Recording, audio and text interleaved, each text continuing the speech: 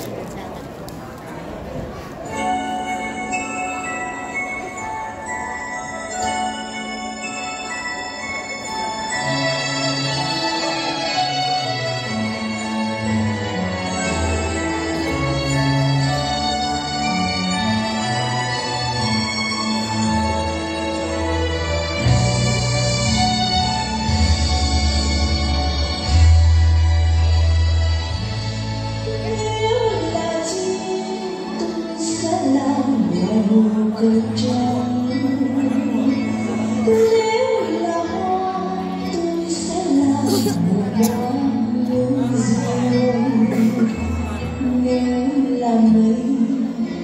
sẽ là một người ấm là người tôi sẽ chiến